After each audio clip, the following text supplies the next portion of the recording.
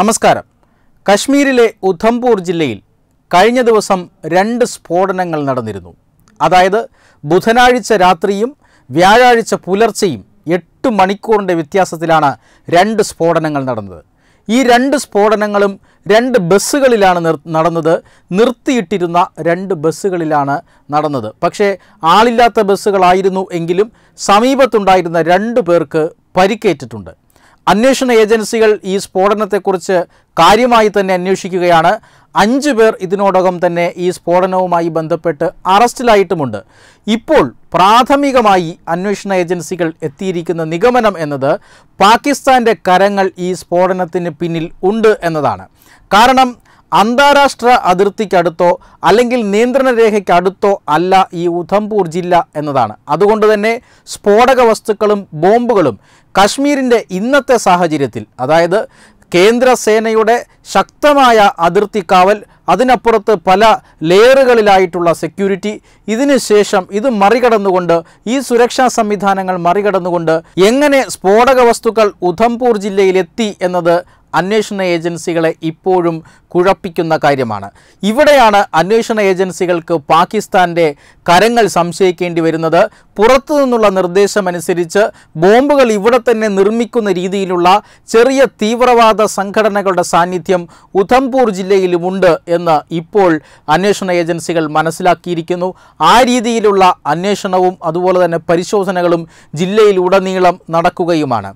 പക്ഷേ ഈ സ്ഫോടനവുമായി ബന്ധപ്പെട്ട് ചില പ്രത്യേകതകളുള്ളത് ഈ സ്ഫോടനത്തിന് ശേഷം ജനങ്ങൾ അവിടെ പ്രതിഷേധം പ്രകടിപ്പിക്കുന്നുണ്ട് അവരുടെ പ്രതിഷേധം പ്രകടിപ്പിക്കുന്നുണ്ട്. ഈ പ്രതിഷേധങ്ങളിലെല്ലാം പാകിസ്ഥാനെതിരെയുള്ള മുദ്രാവാക്യം വിളികൾ ഉയരുന്നുണ്ട്. പാകിസ്ഥാന്റെ പതാക കത്തിച്ച സംഭവങ്ങളുണ്ട്. പ്രതിഷേധ പ്രകടനങ്ങൾ നടന്നിട്ടുണ്ട്. ഇതിൽ നിന്നെല്ലാം വ്യക്തമാണ് ഏതാണ്ട് പാകിസ്ഥാനെതിരെയുള്ള വികാരം ആ പ്രദേശത്ത് ശക്തമാകുന്നുണ്ട്. പാകിസ്ഥാൻ ബന്ധമുള്ള തീവ്രവാദികൾ ഒളിഞ്ഞിരുന്ന് നടത്തിയ ചില ഓപ്പറേഷനാണ് ഈ സ്ഫോടനങ്ങൾ എന്നാണ് ഇപ്പോൾ അന്വേഷണ ഏജൻസികൾ എത്തിയിരിക്കുന്ന നിഗമനം. രണ്ട് ബസ്സുകളിലും നടന്ന സ്ഫോടനങ്ങൾ തമ്മിൽ താരതമ്യം ചെയ്യുമ്പോൾ അതിൽ അനേകം സാമ്യതകളുണ്ട്. ഒരേ രീതിയിലുള്ള ബോംബ് സ്ഫോടനങ്ങളാണ് നടന്നത്. ഇതിന്റെ ഇതുമായി ബന്ധപ്പെട്ട തെളിവുകൾ അന്വേഷണ ഏജൻസികൾ ശേഖരിച്ചിട്ടുണ്ട്. വലിയ സുരക്ഷയാണ് കനത്ത സുരക്ഷയാണ് ഇപ്പോൾ ഉധംപൂ ഉധംപൂർ ജില്ലയിൽ പല ഭാഗങ്ങളിലും ഇപ്പോൾ ഏർപ്പെടുത്തിയിട്ടുള്ളത്. പലയിടങ്ങളിലും പരിശോധനകൾ നടക്കുന്നു. പട്ടാളത്തിന്റെയും ജമ്മു കശ്മീർ പോലീസിന്റെയും പരിശോധനകൾ ഉധംപൂർ ജില്ലയിൽ നടക്കുന്നുണ്ട്.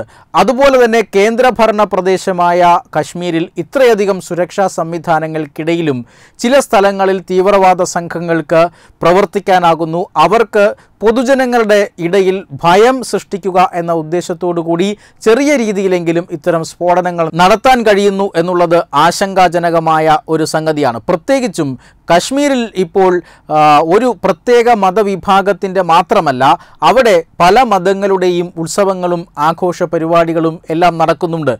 പ്രധാനമായും നവരാത്രി കാലമാണ്. നവരാത്രി ഉത്സവങ്ങൾ വരുന്നു. കശ്മീരിലും നവരാത്രി ഉത്സവങ്ങൾ വളരെ വിപുലമായ പരിപാടികളോടുകൂടി ആസൂത്രണം ചെയ്യപ്പെട്ടിട്ടുണ്ട്.